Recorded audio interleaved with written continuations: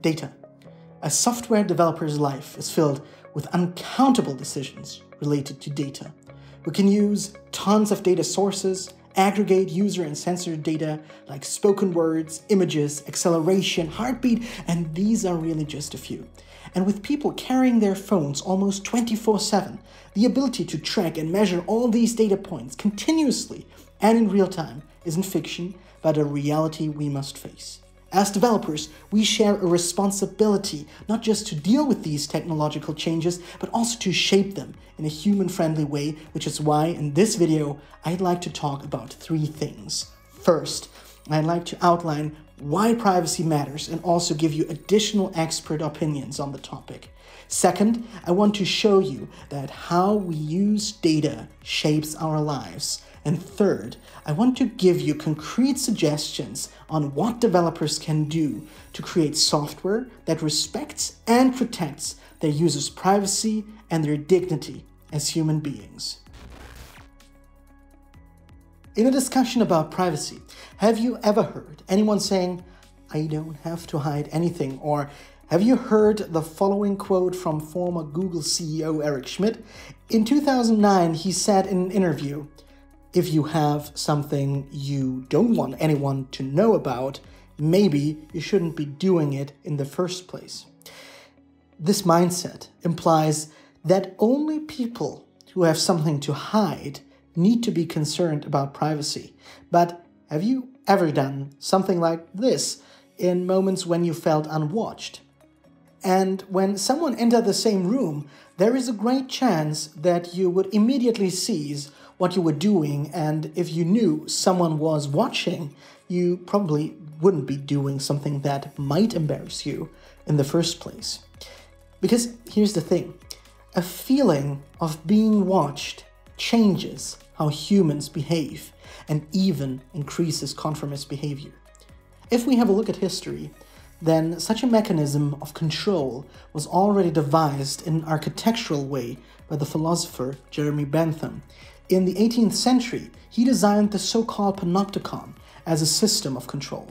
The concept of the design is to allow prisoners of an institution to be observed by a single security guard without the inmates being able to tell whether they are being watched or not. So, if we have a look at today's world of mass surveillance, then data aggregation and analysis by governments is just the tip of the iceberg. We are not only talking about interests of states here, but also about commercial interests of data brokers, ad or analytics companies. All these players are working with different sets of norms and goals. David Baraka and Raphael Goldstein from the Privacy Tech Lab at Wesleyan University are also concerned about how users are unknowingly sharing their data with these players. To me, the bigger human concern is I think the majority of people are unaware that this is happening. You know, they're unaware that when they open up Zoom, Facebook is even knows that, or you know, when you're going from site to site, that all these other companies also know that you're opening up a different app. And I think the fundamental human right part is at least letting each individual know what's going on. Um, once once the individual at least knows, then I, I think it's a it's a different question of they are of course allowed to make their own decisions, but the the important part is they should know exactly who is looking at what they're doing who's looking at their data, who has access to these things, especially when it comes to ad companies who, you know, there's so many chains of selling and reselling data and, you know, there's just so many different uh, people along the line that have access, sometimes pretty significant and uh, important uh, details about someone's life. Yeah, I, I, I agree with that 100%. Uh, I feel like uh, as users, we don't understand how much data these companies are collecting and like the little trace of data they're collecting. I mean, it just passes our head and we're, we're totally unaware. And they're collecting this massive data. And we all have this, this like digital footprint online that we, we don't know how much of information is there. And there's probably more information online than we actually have, you know, maybe probably in your room or just locally. So I think that we, we're definitely entitled to our information and knowing what information is being sold or what company or what information that companies are trying to get. And that that information should be taken care of and we should all have the, the right to, to know how that information is being communicated across different companies and being um, aggregized. Just to illustrate these points a little further, scientists from Cambridge University and Microsoft Research could already demonstrate in 2013 that easily accessible digital records of behavior, namely Facebook likes, can be used to automatically and accurately predict a range of highly sensitive personal attributes, including ethnicity, religious and political views, personality traits, intelligence, happiness, and much more. Cited from their research paper, the scientists concluded, among other things, that one can imagine situations in which such predictions, even if incorrect, could pose a threat to an individual's well being, freedom, or even life. We already talked about the footprint that we leave behind when we use technology. Just looking at eBay illustrates how many different companies get your data if you're just browsing the platform to get a piece of equipment or when you sell your old phone. Using not only cookies but also browser or device fingerprints makes it possible to track you across the web. The massive amount of data that is collected through ad networks or social media is so huge that they can no longer be interpreted using spreadsheets. Analyzing big data using modern algorithms and machine learning helps us, for example, to better predict the weather or find similarities in images and offering many great services. But big data analytics can also be used to predict purchasing decisions or to calculate social scores. So, for both developers and users, it is important to keep in mind that in analyzing data, we usually deal with correlations and not with causality. Correlations are statistical values that are in relation to each other. Let's have a look at an example. If we observe different seasons and look at birth rates, then we will notice that in spring, many babies are born. Also in spring, you will notice more storks than in any other season at least in Europe. So there is not only a correlation between the season and the numbers of babies and storks, but also between the numbers of storks and the number of babies. Therefore, you could conclude that storks are responsible for delivering babies, which is, of course, total nonsense. So, what we can explain statistically may seem as objective truth, but correlations only point to relations. They are unable to explain them. So, looking at, for example, social or credit scoring, people are graded and assessed by statistical probability for certain dispositions, but not due to their true motives or attitudes. But ultimately, all these predictions that we get from big data analytics are coming from data that we generated in the past. Yet, behavioral predictions that are based on these former choices are used to offer us products, jobs, or even partners on dating platforms, and so might compromise our freedom of action and choice as independent individuals. So, it is really important for both developers and users to be aware of these problems related to algorithm based recommendations or prognoses. Otherwise, statistical probability may shape reality as self fulfilling prophecies, as we've already seen it when big data is used for predictive policing or in recruitment, passing on human biases to data models and algorithms. Now, let me quickly show you one example from my channel on how easy it is to create biased data models. Last year, and with the best interests in mind, we created a machine learning model that could determine if a user had opened or closed his or her hand from a live camera image. We then used its predictions to play or pause a video.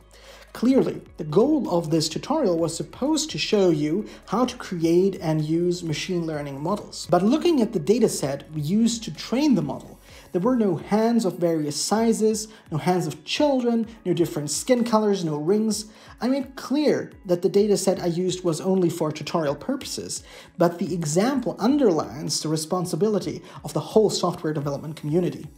We need to think about the contrasts of, for example, individualized offerings and manipulation, self fulfilling prophecies, and investigation of causes, instruments of power and democratic regulation, and data as capital of powerful companies or as collective good. We also need to be aware of ethical implications and questions about the usage of data in certain situations, like the determination of psychological dispositions, resilience, sexual preferences, or risks of crime. We even need to think about the ownership of data about nature and technology like already the case with certain DNA sequences or enzymes. it's definitely hard for the average user to make sure that everything that they use is works for them. And even if um, a privacy policy makes them uncomfortable, it's so difficult to avoid certain services in the world that might just require you to agree to them. So it's not necessarily you agreeing to them as them telling you what they're going to use with your data regardless, even if you're not on the service. The predicament you just heard about is not uncommon. There are companies out there who think that privacy is just security and that you can use or collect data as long as you protect it. But security alone isn't adequate in the long run. Of course, you have to protect the data you collect, but it's less risky to just not collect them in the first place.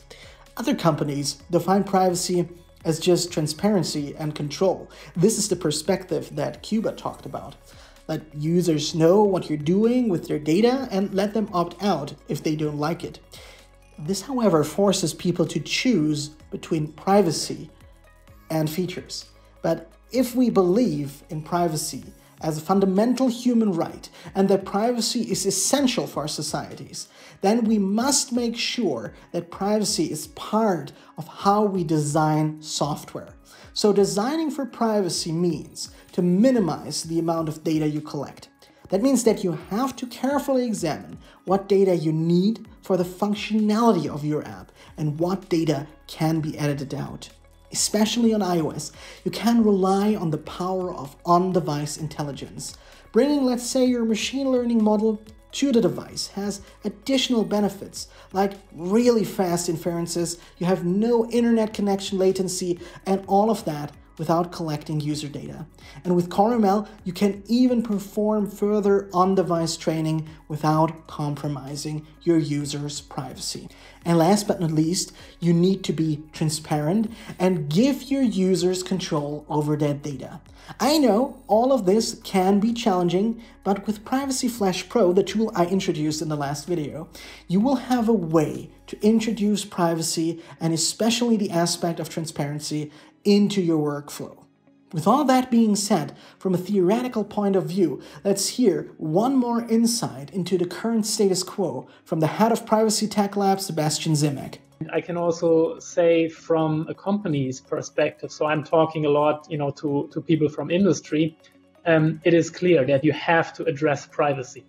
Um, and even even if you don't think of privacy as a human right and of you know this this big value that is being uh, you know uh, upheld it ultimately becomes a business decision right? Um, companies like facebook or google um, who uh, collect uh, data are very well aware um, that there need to be privacy protection in place um, because otherwise, uh, you know, that will just uh, not work over the long run.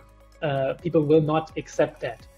Um, and so I think uh, maybe 10 years ago, uh, that was not so clear, and people tried to grow as fast, get as many users as fast as possible. But the times have changed now.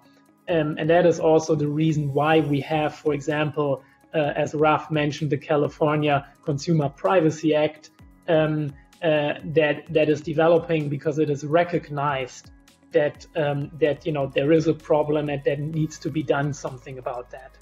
So if you're still up and around at the end of this video, I'd like to thank you for your attention. By watching this, you're already taking a step towards understanding and shaping the world of data in a human friendly way. The way I see it, there is a risk that the growing awareness of digital exposure may negatively affect people's experience of digital technologies, decrease their trust in online services. But trust and goodwill can be maintained by respecting user data, providing them with transparency and control over their information, and so leading to an individually controlled balance between the promises and perils of the digital age. Thank you so much for watching. Bye.